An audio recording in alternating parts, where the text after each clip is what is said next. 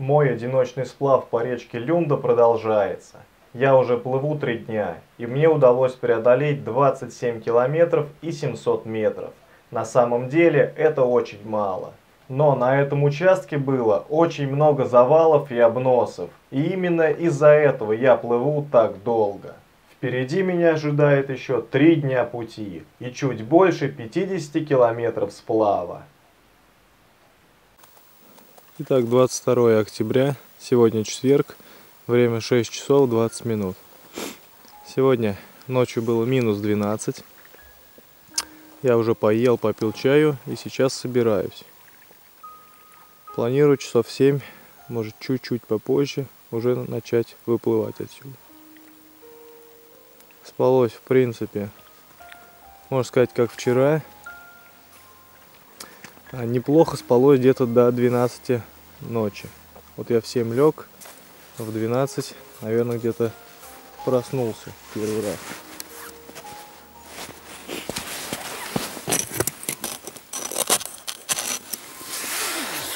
уже потеплело. Да нет. 11 показывает. Ну, в общем, минус 12 было. В общем, сейчас палатку сворачиваю, накачиваю лодку, грею еще раз ноги и буду выплывать. Примерно в 7.30 я выплыл и сразу же проплываю охотничий скрадок, который находится на правом берегу. Здесь расположен заказник. Вчера, когда я приплыл на стоянку, на том же берегу Люмда показался охранник заказника. Мы немножечко поговорили. Он удивился, что я один сплавляюсь в это время года по этой речке.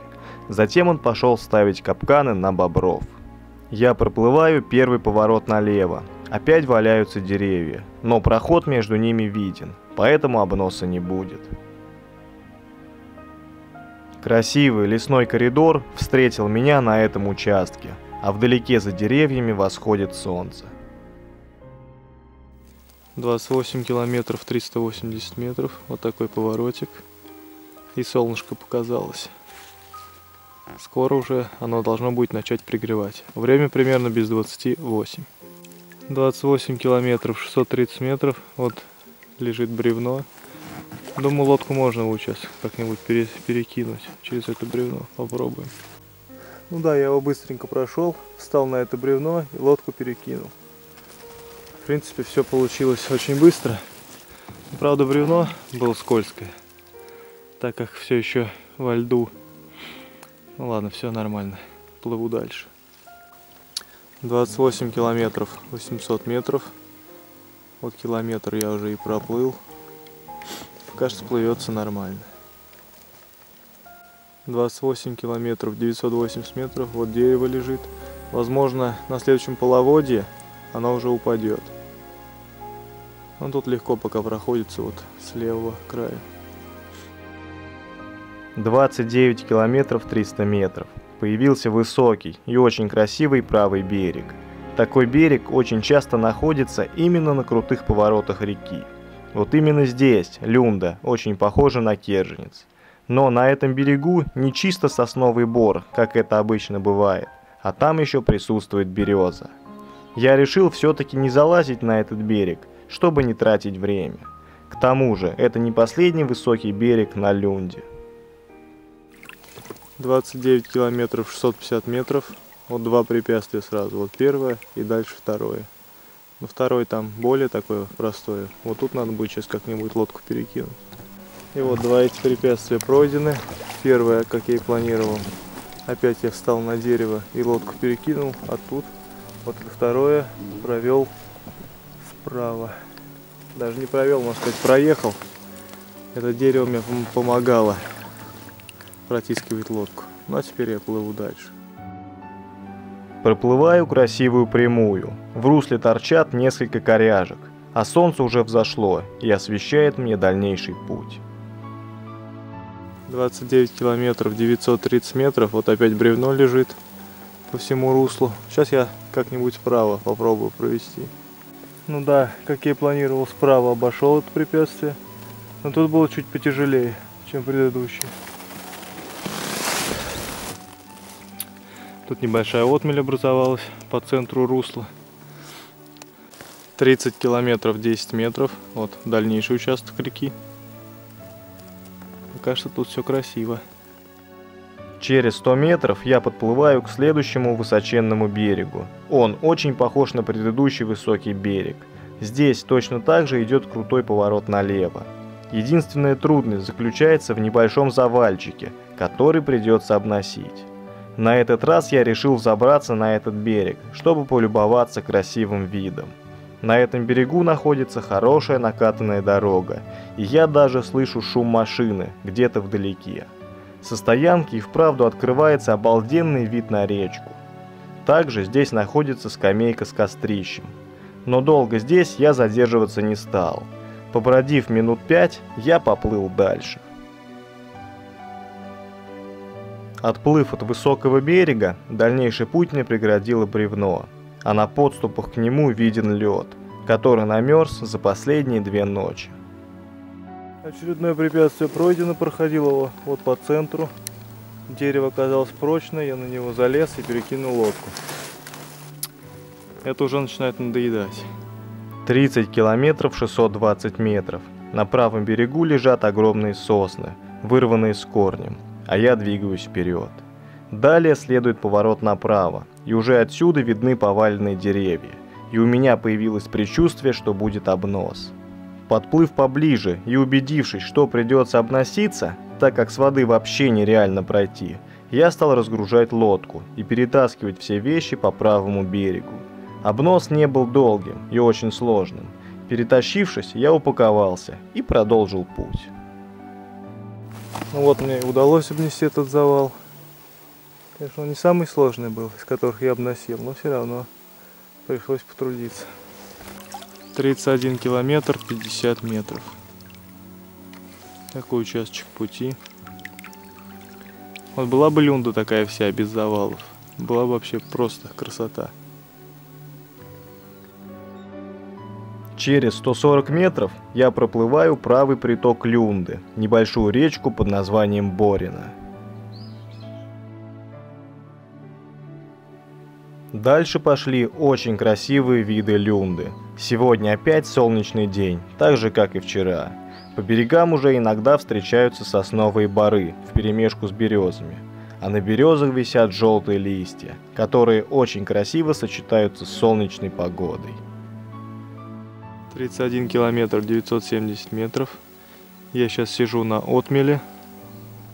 А вот это вот дальнейший участок реки. Вроде все проходится. Сейчас посмотрим. 32 километра 200 метров. Он тоже красивый участок впереди. Радует, что пока завалов нет. 32,5 километра. Такой участок и поворот налево.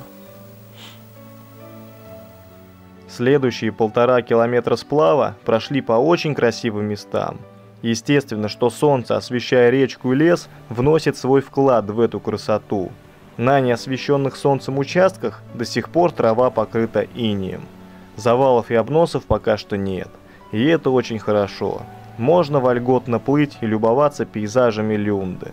Хотя коряшки и поваленные деревья все равно встречаются. А мне уже пора накачивать лодку. Остается только найти подходящее место, типа песчаной косы. Итак, проплыл я всего 34 километра. Сейчас я остановился для того, чтобы подкачать лодку. Высадился я вот на этом небольшом островке. Здесь, в принципе, очень красиво. Если посмотреть назад, то видна такая красивая долина реки. Желтые листья еще на деревьях растут. Вот этот пейзаж очень красивый, он меня радует. Но сейчас я буду отправляться дальше. Упаковав все вещи, я уплываю от этой песчаной косы. Сегодня, наверное, самый лучший день для сплава. Плыть в такую погоду очень приятно. Можно по-настоящему наслаждаться рекой. Тем более количество завалов уменьшилось, а красивые виды с сосновыми берегами увеличились. А речка делает несколько поворотов, и появляется вот эта прямая. 35 километров. Вот, в принципе, теперь Люнду можно назвать лесной речкой. Сейчас уже На обоих берегах лес, сосны, березы. Вот теперь она уже похожа на лесную речку, а не на полевую. 35 километров, 160 метров. Оба берега высокие, красиво смотрятся.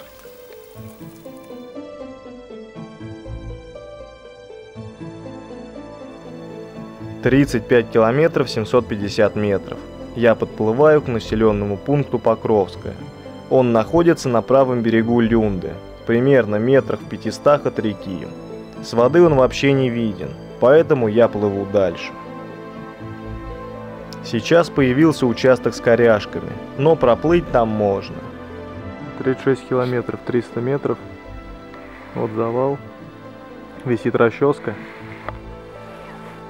Не знаю, может быть получится пройти. Сейчас попробую. Вот через эту расческу я пролез где-то вот тут вот. В принципе, все получилось.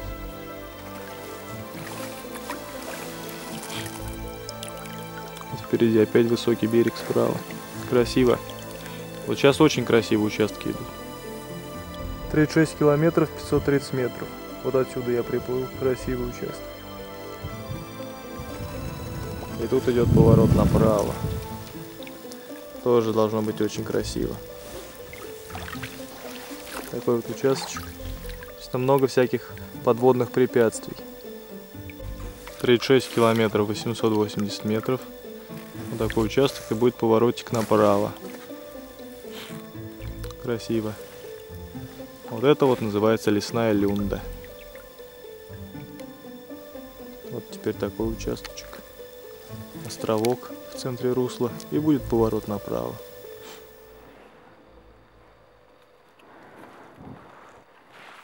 Вот такой слив небольшой, перекатик. Я плыву вон туда. Виден правый берег, высокий. Опять очень красивое место. 37,5 километров, вот поворот налево, и тут все-таки небольшой завал есть. Сейчас я попробую, может, можно как-нибудь там вот этот ствол начальный убрать. Если не получится, то придется перетаскивать. Итак, сейчас время практически 12 часов дня. Мне удалось пройти вот этот завал. Я его обнес по левому берегу. А, в принципе, тут было все легко. Через 250 метров я подплыл к этому красивому месту. Но что-то здесь не так. 37 километров 750 метров. Вот лежит дерево поперек всей речки. Не знаю, наверное, придется обносить. Сейчас посмотрим. Итак, все-таки этот завал мне тоже пришлось обносить. Я уже почти все вещи перенес. Обношу его по правому берегу. Дальше вот такая люнда. Все-таки сейчас случилось то, что я боялся больше всего. Я промочил левый сапог. Тут берег неудобный, идет сразу глубина. У меня нога соскользнула я погрузил ногу в воду. В общем, водичка залилась в сапог, все мне промочило. И обычные носки, и шерстяные, и подштанники. В общем, у меня теперь все сырое. Сейчас я воду отжал. Пока что, в принципе, нормально. Если буду, если нога будет замерзать, тогда буду, наверное, разводить костер и греться. Пока все нормально. Следующий километр сплава плылось очень размеренно, вольготно. Стало попадаться много высоких берегов. Практически все берега теперь покрыты соснами, но иногда встречается и смешанный лес. Течение очень слабое. Солнце, которое высоко поднялось над рекой, отражается в прозрачной воде люнды, периодически ослепляя меня. Второй день стоит такая потрясающая погода – Скорее всего, надолго она не задержится, ведь уже конец октября. Люнда, как небольшая лесная речка, очень часто извивается в разные стороны. На самом деле, плыть так приятней. Разные пейзажи поджидают меня за поворотами, хотя иногда встречаются и похожие виды, и у тебя возникает чувство, что это место ты уже где-то видел. Но это не так. Небольшое отличие все равно присутствует. И это, надо сказать, намного интереснее и увлекательней, чем плыть по длинной и однообразной прямой. 39 километров 170 метров. Вот опять очередное препятствие. Но тут, наверное, можно будет лодку провести. Сейчас попробуем. Ну да, удалось мне тут провести лодку. Я из нее вышел и провел. Теперь поплыву вот сюда. 39 километров 300 метров. Вот такой левый берег, высокий. Красиво смотрится. Справа две расчески висят.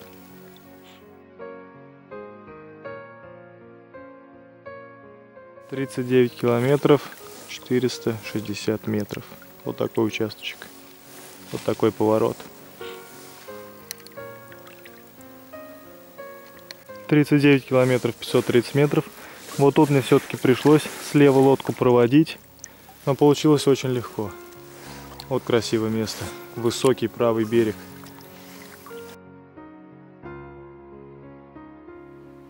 Вот еще одно красивое место с высоким берегом и сосновым бором. Вскоре на одном из поворотов реки мне удалось увидеть утку. Это первая утка, которая меня не заметила. Обычно они сразу улетают но вижу я их каждый день, по несколько штук. 40 километров, 560 метров. Вот люнда здесь такая, и вот справа впадает какой-то приток. Похоже, он без имени. В навигаторе почему-то его нет. А через пару поворотов справа впадет речка Кугай. 40 километров, 800 метров. Вот тут вот небольшое препятствие. Не знаю, как сейчас получится его обойти. Что-нибудь сейчас придумаю. И вот я прошел это препятствие, проходил я его не слева, а справа. Тут оказался вот такой проход. Следующие участки реки очень похожи друг на друга. Один берег высокий, а другой напоминает пляж с песчаным берегом. Сразу представляется лето, как ты лежишь на этом пляже и купаешься в люнде. Хотя нет, вряд ли летом здесь ты полежишь. Полчища комаров, мошки и слепней не дадут тебе покоя. А вот сейчас хорошо. Солнышко слегка пригревает, и никакого гнуса нет. Это одно из преимуществ октября, да и вообще осени. Кстати, где-то здесь впадает правый приток Люнды, речка Кугай. Но я его не увидел. Длина реки небольшая, примерно 23 километра. И вот я в очередной раз накачал свою лодку, за все время сплава я проплыл 42 километра и 250 метров. Сейчас я нахожусь на вот этой песчаной отмеле. А, позади меня прекрасный, фантастический вид. Недавно я проплыл речку Кугай, а сейчас я держу свой путь а, к двум населенным пунктам. К Александрово и Абросимово. Накачав в очередной раз лодку, я продолжил путь. 42 километра, 540 метров. Вот, кстати, видно слева, ледок еще никак не сойдет за весь день. Утром хороший морозец минус 12 сделал свое дело. Вот это вот будет сейчас поворот направо. Очередной красивый участок реки. Кстати, после того, как я проплыл речку Кугай, официально я уже плыву по республике Марий-Эл – а до этого несколько километров граница шла прямо по реке. 43 километра 110 метров, вот такой вот участочек, что-то тут палки лежат. Надо будет сейчас как-нибудь попробовать протащиться. Ну вот все, у меня получилось вот тут справа.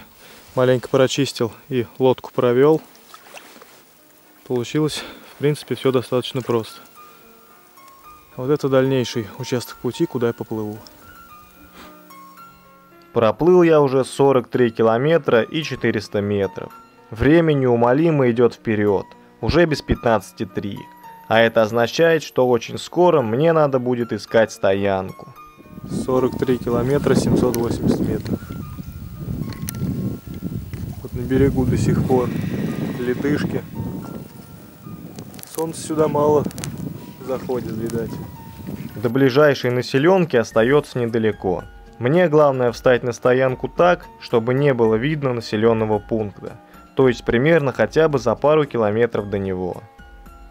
Дальше встретился высокий левый берег. Здесь река поворачивает направо, а затем резко налево и образует там песчаную косу. И именно там я встану на стоянку.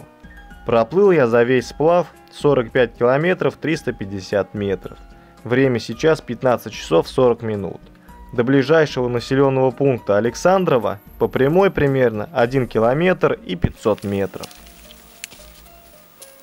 Мне остается сейчас насобирать дров, приготовить еду, сделать чай и поставить палатку.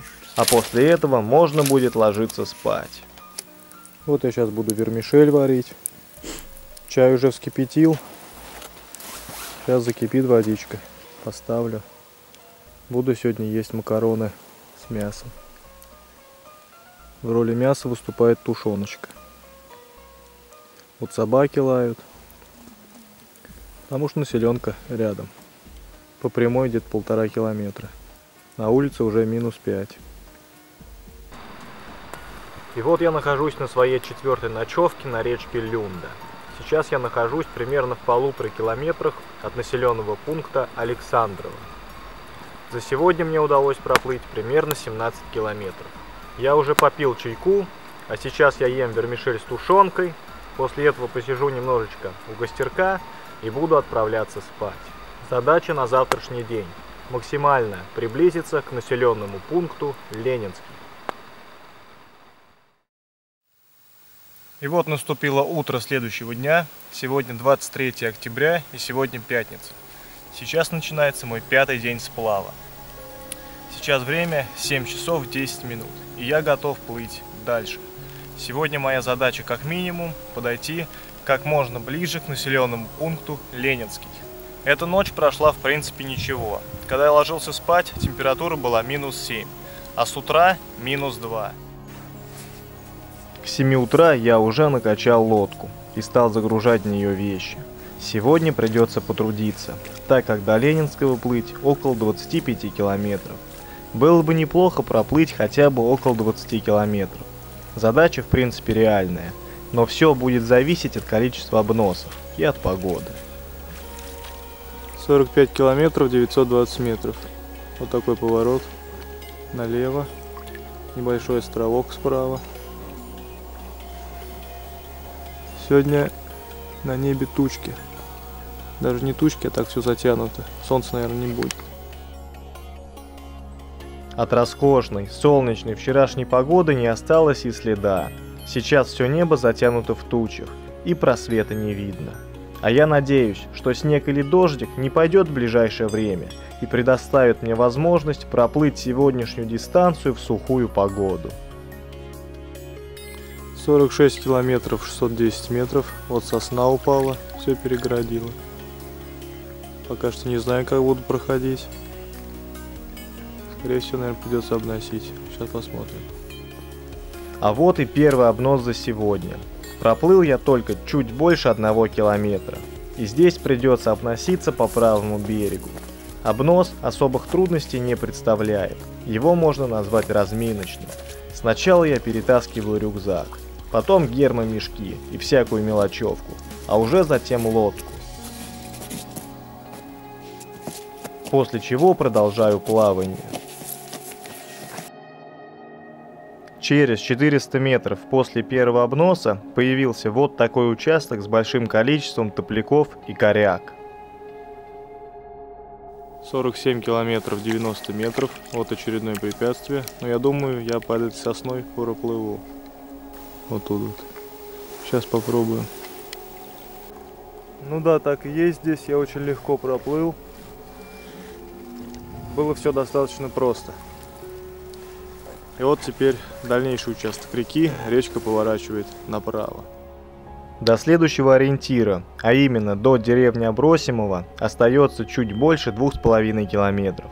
Это расстояние я проплыву примерно за час, если не буду останавливаться и накачивать лодку. Речка здесь очень спокойная, тихая, приходится постоянно грести. Течение вообще не чувствуется – Берега красивые, сосновые, иногда вперемешку с березой. И в основном все время высокие. Песчаных кос практически нет. Можно сказать, что люнда здесь уже расширилась, и ширина составляет около 15 метров, а в некоторых случаях даже больше. И тут не встречаются сужения реки до 5 метров, как это было выше по течению. Люнда несет меня своим потоком в Ветлугу, но до нее еще плыть чуть больше 30 километров. На преодоление такого расстояния придется потратить сегодняшний и завтрашний день. А я уже подплываю к Абросимово, но перед этой деревней появилось одно неожиданное препятствие. 49 километров 920 метров, а я тем временем подплываю к Абросимово. Тут уже через пару-тройку поворотов Наверное, дома увижу, а может даже и раньше. Ух, опасненькое место. Удалось мне тут все-таки протиснуться. Вот так вот. Опасно было. Лодка не хотела влазить, но потом все-таки ее пропихнул.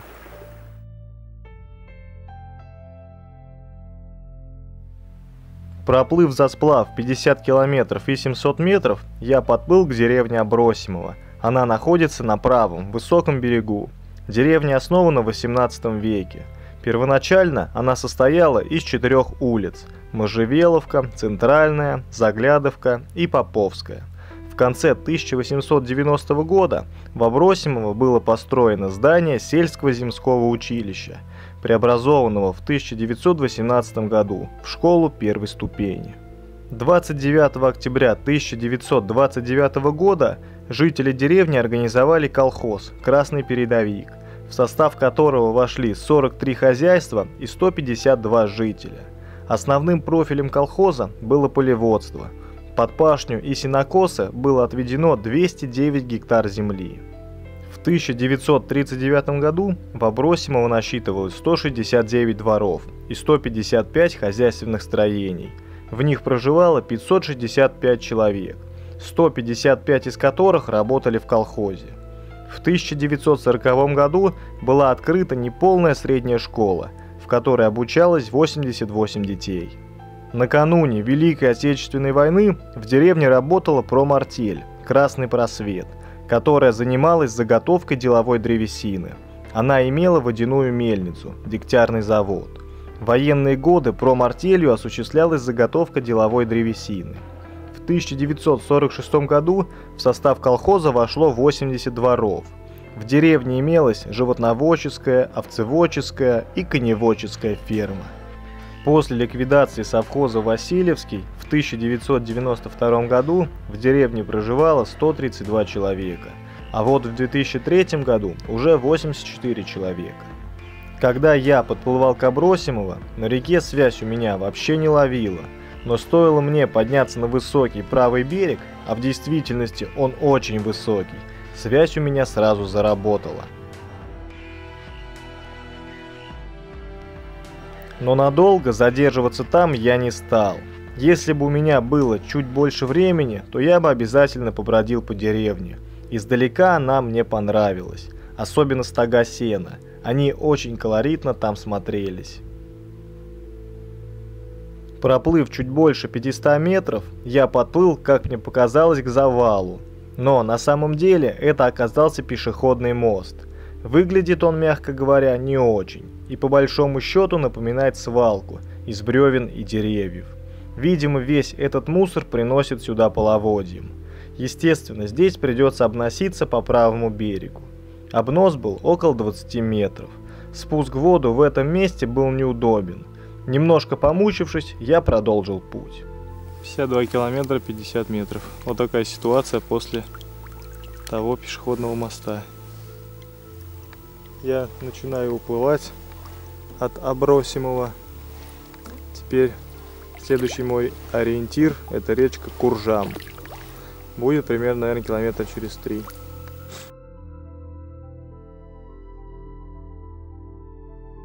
52 километра 850 метров. Вот такой участочек. Вот тут могут быть небольшие сложности, но вроде как все это проходится. 10 часов 37 минут. Я преодолел отметку в 53 километра. Здесь под правым берегом образовалась мель. Вовремя я ее не разглядел, поэтому сейчас мне приходится толкать лодку. Но следующая прямая просто восхитительна. Это очень красивый участок реки. Здесь присутствует хорошее течение. Мне удалось развить скорость около 4 км в час. 53 километра 510 метров. Вот такой идет длинный поворот направо. Слева высокий берег. Красиво смотрится.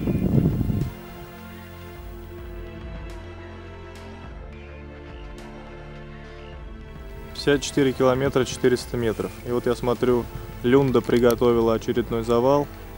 Но тут можно проплыть его слева. Сейчас я этим и займусь. 54 километра 570 метров. Вот островок посередине русла. Ель наклоненная. Наверное, на следующем половодье может и упасть. 54 километра 720 метров. Вот видно, опять бревно лежит по всему руслу реки. Наверное, придется лодку через это бревно перекидывать. В итоге все-таки я этот завал решил обнести и заодно накачать лодку. Сейчас я ее уже накачал и готов плыть дальше. Продолжив маршрут на накачанной лодке, я устремился вперед и буквально через 400 метров я подплыл вот к этому месту. 55 километров 100 метров, вот какое-то нагромождение бревен по левому берегу. Хорошо, что в русле их нету. Недавно я преодолел рубеж 55 километров. Время сейчас около 12 часов дня. То есть у меня есть еще примерно 4 часа светлого времени для сплава так как мой сплавной день в этом походе обычно заканчивается около 4 часов вечера. Берега Люнды в этих местах меня по-прежнему радуют. В основном здесь они покрыты сосной, елкой и березой. Очень высоких берегов здесь нет, да и вообще их на Люнде мало. Обычно попадаются берега средней высоты или просто низкие берега. То же самое я могу сказать и про песчаные косы. Их тоже мало. 56 километров 850 метров. Впереди показался вроде бы простой участок реки, но это не так. Вся сложность будет заключаться в преодолении коряжек и поваленных бревен. Все-таки этот участок оказался не совсем прост. Мне удалось тут сесть, тут дерево лежит. В общем, сейчас надо будет вставать на это дерево и лодочку выталкивать. Но все-таки мне удалось отсюда выбраться. Получилось все достаточно просто. Хотя некоторые трудности все равно были.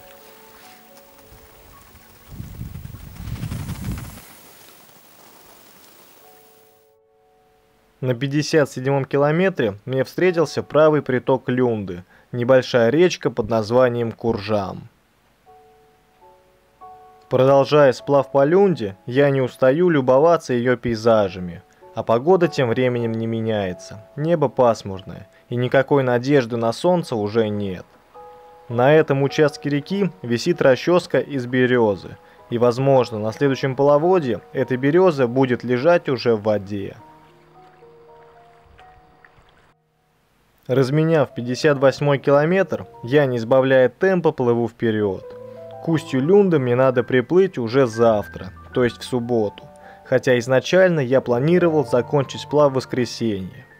Но в связи с последними событиями, а именно с холодными ночевками и большой захламленностью речки, к тому же иногда сказывается фактор одиночества, я решил на денек пораньше закончить этот маршрут.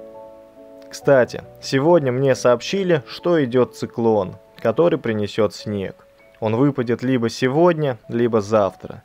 В принципе, это было предсказуемо так как от вчерашнего солнца и хорошей погоды не осталось и следа.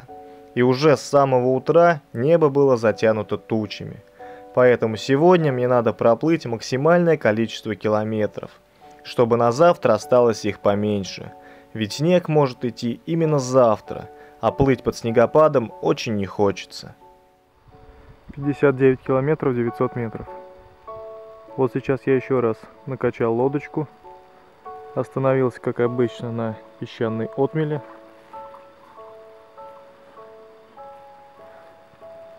Сейчас буду собираться и буду выплывать.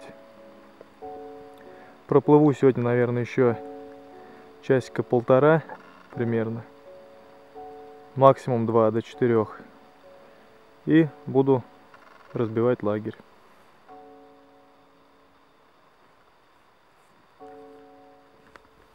Накачка и последующая погрузка всех вещей в лодку стала для меня уже традицией. Примерно каждые полтора или два часа я проделываю одно и то же, только пейзажи вокруг меняются. Вот и сейчас я упаковал все вещи и продолжаю путь. Немножко сплавного времени у меня еще есть.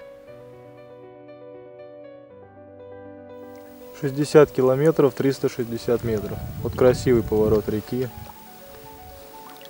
Высокий правый берег, а левый песчаный. Просто классика равнинных рек.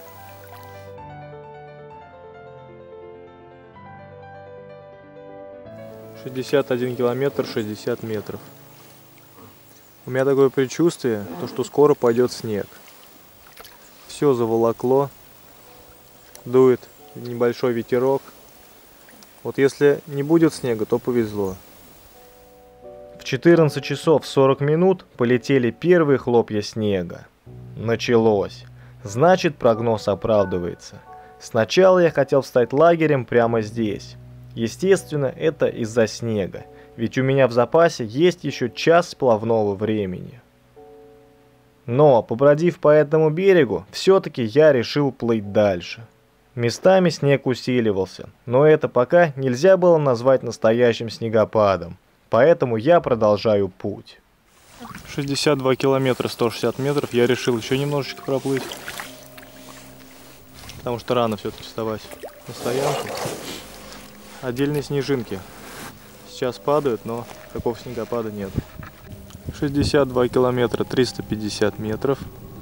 Вот дальнейший участок. Снежинки по-прежнему летят, иногда чуть-чуть усиливаясь.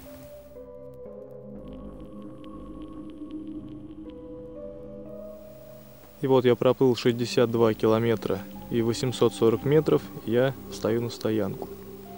Стою примерно на такую же косу, как и вчера, только буду палатку ставить не на песке, а вот чуть повыше, где травка. Снег продолжает чуть-чуть лететь. Я сейчас нахожусь недалеко от двух населенных пунктов. Первый это Никольская Слобода, он находится на правой стороне чуть-чуть, а в стороне от реки примерно до него три поворота, где-то так. А до Ленинского маленько подальше, ну поворотов может 6. В общем, все находится очень рядом. Поэтому я считаю, что задачу свою выполнил. Теперь буду разбивать лагерь, пить чай и готовить еду. Первым делом, после того, как я приплыл на эту стоянку, я поставил палатку. Ведь скорее всего снег усилится. И поэтому палатку надо ставить в первую очередь. Ну а затем я насобирал много дров, чтобы хватило на сегодня и на завтрашнее утро. За сегодняшний сплавной день мне удалось преодолеть 17,5 километров. Это расстояние является пока что для меня рекордным в этом сплаве. А у нас снег начался. Я сейчас готовлю чай. Вот идет снежочек. Уже вот немножечко сумел припорошить землю. Ну так, чуть-чуть. Если так будет идти, к утру, так это маленечко присыплет землю. Вот так вот. Ну, я сейчас, как обычно, пью чай, ем и отправляюсь спать пораньше.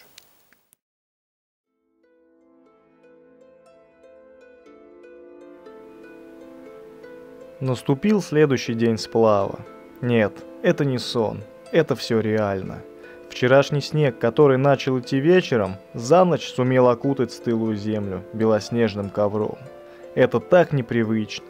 Я впервые оказался на зимнем сплаве. Обычно я сплавляюсь летом. Там поют птички, жужжат комары. А сейчас абсолютная тишина – только ветер может вмешаться, раскачав и оживив высоченные сосны. конце октября погода непредсказуема. Еще два дня назад был потрясающий солнечный день, хотя особого тепла не было. Вчера уже все небо было в тучах, и в итоге вечером был снегопад, который шел всю ночь. Но человек может и должен приспосабливаться к условиям дикой природы. Несмотря на все снегопады, дожди и минусовые температуры, именно приспосабливаться, а не пытаться ее победить. Еще ночью, лежа в палатке, я понял и почувствовал, что за пределами моего жилища что-то происходит. Но на самом деле все было элементарно просто. Снег, который выпал ночью, придавил мою палатку со всех сторон. Именно из-за этого мне было неудобно лежать, как будто палатка уменьшилась в размерах. А я потихоньку начинаю собираться – мне еще предстоит свернуть сырую палатку, упаковать все вещи и перед отплытием накачать лодку. И вот наступила суббота, 24 октября. Сегодня последний день сплава. Я проснулся, как обычно, в 4 утра, попил чаю, сварил гречку с горбушей, собрал уже все вещи, а, свернул палаточку. А, сейчас у меня догорает костерок, и очень скоро я буду выплывать а, уже конечной точке своего маршрута. На Люнде уже наступила зима, снегу, наверное, ну примерно около 10 сантиметров намело. Сейчас он кончился, шел практически всю ночь. Спалось мне сегодня достаточно комфортно. Температура была, когда я ложился спать, 0, а когда проснулся, минус 1. Палатка у меня вся промокла и была вся в снегу. Ну а я сейчас буду накачивать лодку, погружу все вещи и поплыву. За ночь на лодку выпало много снега. Сейчас я ее отряхну, накачаю и продолжу собираться и упаковывать все вещи. Так, 7 часов утра. Я уже начал складывать вещи. Вот тут у меня был костерок. В общем, сейчас я буду уже отплывать. И поплыву к устью речки Люнда. Она впадает в Ветлугу. В 7 часов 15 минут я выплыл. Задача, которая на сегодня предо мной стоит, проста и понятна. Приплыть к устью Люнды. Но до устья плыть еще долго, около 20 километров. Поэтому у меня будут промежуточные точки и ориентиры, для того, чтобы я мог сориентироваться, где сейчас нахожусь. Первый ориентир – это речка Муза и населенный пункт Никольская Слобода. Эта деревня с реки не видна, а вот на речку Муза я посмотрю. Она находится примерно в двух километрах от места, где я ночевал. Плыть по Люнде сейчас очень непривычно, Речка приняла зимний облик, берега покрылись снегом, и теперь следы животных будут отчетливо видны. Но кругом тишина, берега нетронутые, хотя кое-где встречаются тропки бобров, которые скатываются в воду. И только открытая вода мне напоминает о том, что сейчас осень, а не зима. До речки Муза осталось примерно 400 метров – Здесь я решил накачать лодку, и буквально через 10 минут я продолжил путь.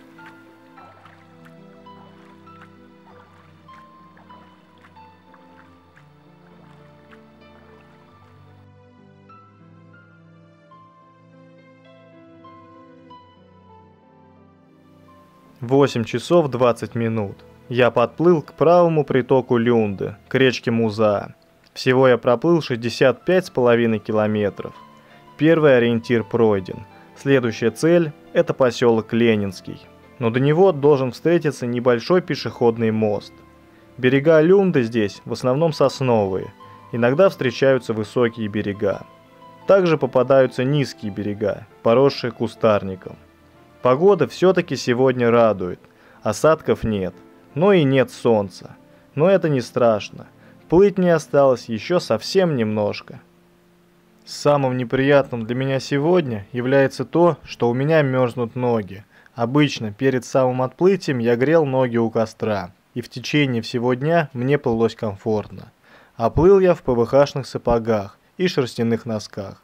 А вот сегодня я ноги не погрел, и периодически я останавливаюсь, выхожу на берег и пытаюсь ноги размять и согреть.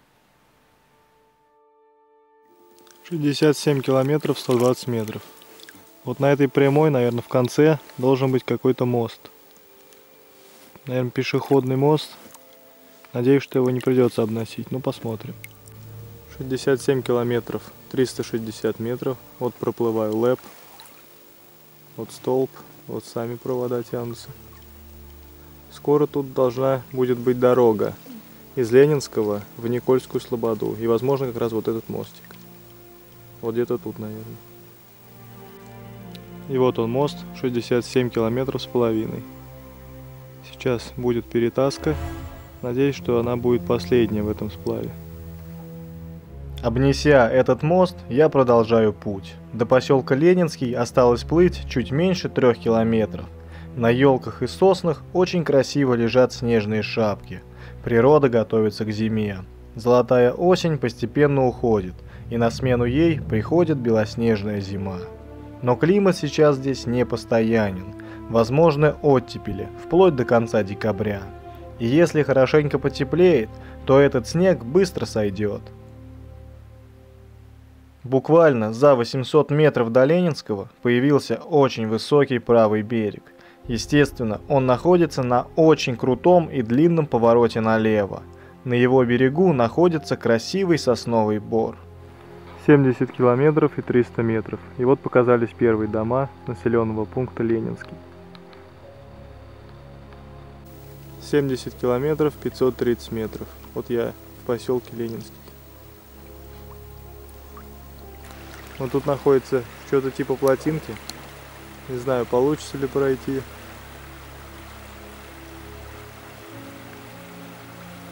Сейчас поближе подъеду, посмотрю. У меня получилось обнести вот по левой стороне, вот тут я пропихнул лодочку. В принципе, все получилось достаточно легко.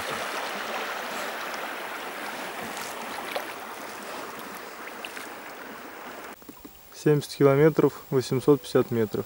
Вот первый поворот в Ленинском. Вот так вот выглядит. Тут на левом берегу лежат бревна и находится вот какое-то здание. Проплыв первую часть поселка Ленинский, я плыву дальше. Но вскоре я увижу его продолжение.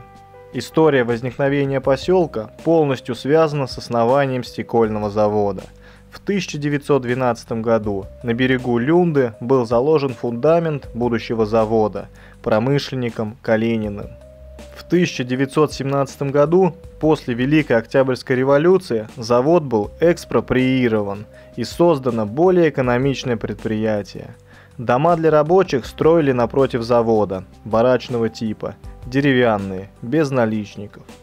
В 1922 году стеклозавод выпустил свою первую продукцию – стекло, хозяйственную посуду и бутылки. В 1957 году во время пожара сгорело старое деревянное здание завода. Взамен ему построили новое, каменное – которое было пущено в строй в 1973 году. А в 1996 году из-за нехватки сырья и отсутствия налаженных хозяйственных связей завод прекратил свое существование. С 2002 года в Ленинском осталась только начальная школа, а в настоящее время в поселке насчитывается 315 жителей. До устья Люнды остается плыть около 10 километров. Уже чувствуется, что сплав подходит к концу, и ощущается какое-то незаметное дыхание цивилизации. Сосновые высокие берега иногда еще встречаются, но это происходит все реже и реже. А взамен им появляются невысокие, поросшие кустарником берега. Течение на некоторых участках ощущается, но в основном оно очень слабое на всем протяжении люнды. Иногда встречаются мели – и если не уследить, где эта самая мель, то придется вытаскивать лодку. Ну а я все ближе и ближе к окончанию сплава. Этот сплав получился для меня самым тяжелым. И несмотря на небольшую дистанцию, этот поход мне точно запомнится. Ведь здесь были многочисленные завалы, которые я пытался обносить разными способами. Также я не могу забыть про три холодные ночевки с минимальной температурой в минус 12. Таких холодных ночевок я не ожидал, но пережил я их нормально. Ну и естественно, сегодняшний зимний сплав. Это очень необычно. В таких условиях я плыву впервые. Ну и не стоит забывать, что этот сплав был одиночным, и все мне приходилось делать самому. А это намного труднее и отнимает значительно больше времени, чем в командном сплаве. Здесь даже встретилась охотничья засидка, а до автомобильного моста осталось около трех километров. На этой дистанции встретилась мель, прямо по центру русла.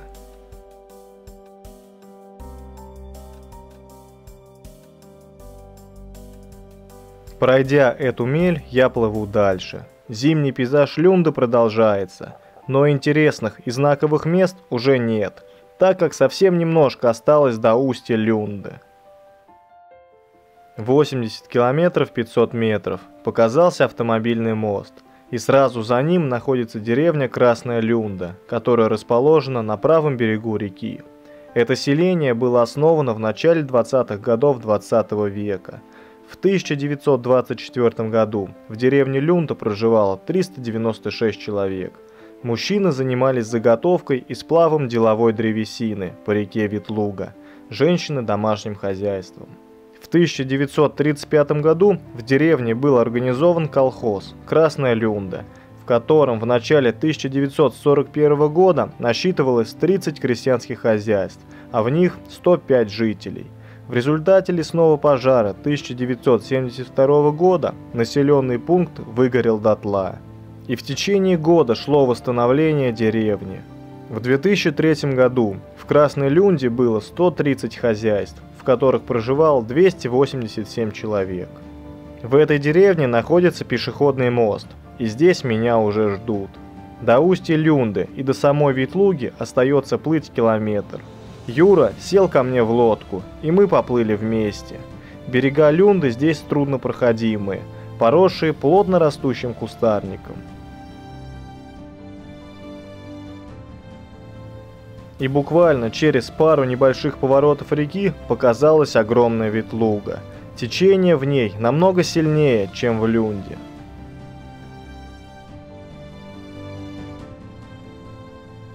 Мой сплав подошел к концу. Всего я преодолел 83 километра 500 метров и 20 километров за сегодня. Теперь я долго буду вспоминать эту лесную речку, которая подарила мне этот незабываемый сплав.